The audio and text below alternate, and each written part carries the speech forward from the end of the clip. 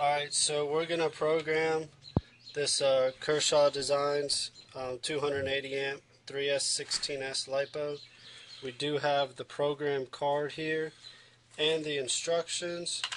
And on the instructions, he has a website you can go to, but the website does not work, or I couldn't get it to work.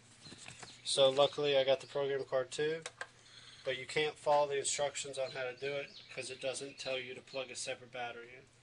So we're going to start right here. Just going to plug in this 4S LiPo right here. It's going to beep a bunch. We're going to come over here and we're just going to plug in our ESC cable here and then I got a little receiver pack that's under 6 volts seems to make a difference.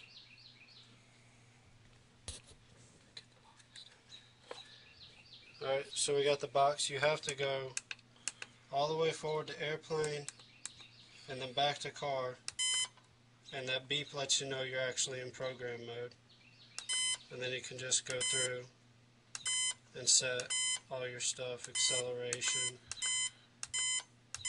and when you're working with this speed control the ABS braking is not regular ABS like you would think on a car radio. It's the braking, so you have to set that on, otherwise it's not going to have brakes.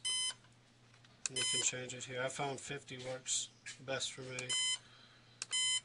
And then reverse limit.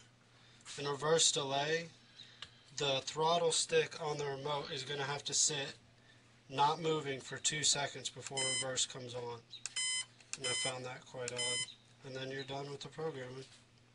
So you just unplug and unplug here and you're programmed.